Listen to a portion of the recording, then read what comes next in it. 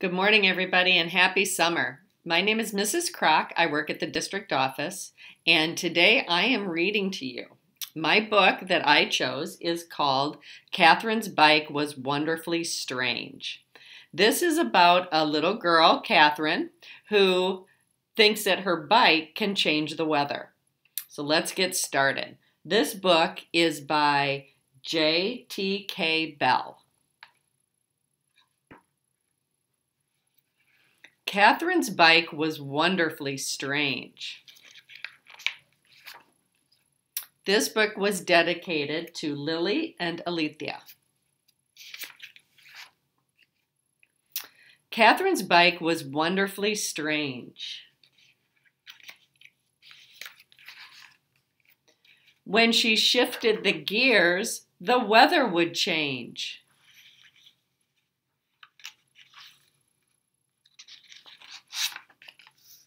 From first into second, the wind would kick up.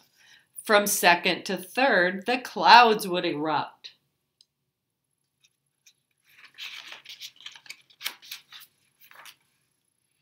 Around and around and around went the chain. The faster she pedaled, the harder it rained.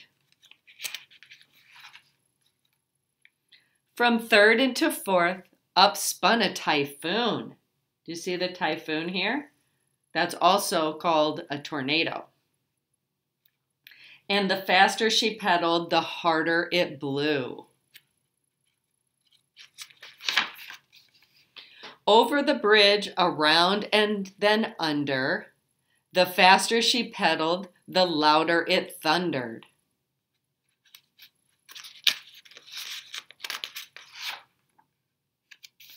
From fifth into sixth, the sun would break through, and the faster she pedaled, the hotter it grew.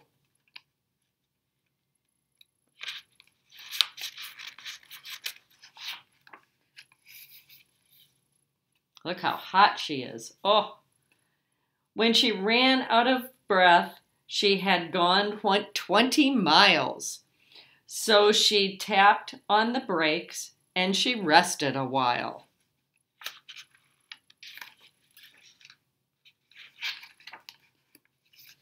She put down the kickstand and lowered her feet, and the sun disappeared, and so did the heat.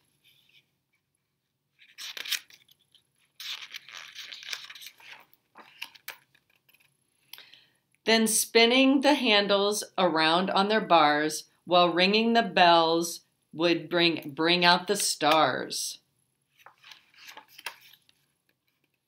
Lifting the seat would hoist up the moon, and the tires would fill up like hot air balloons. She floated up slowly like smoke from a fire and balanced herself like a bird on a wire.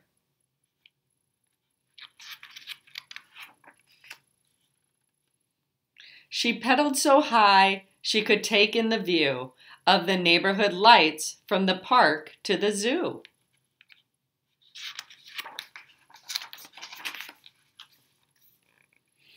As she floated along, she lost track of time till she heard the sound of the church bells chime.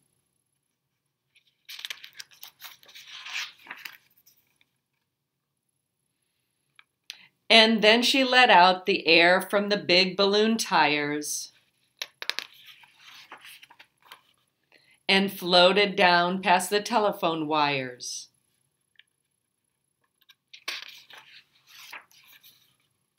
The stars were above and her house was below her as the air from the tires came out slower and slower. She touched down in her yard while they went on deflating. There's her house. And ran into her house where her dinner was waiting. The end. I hope you enjoyed this book and I hope you have a wonderful summer.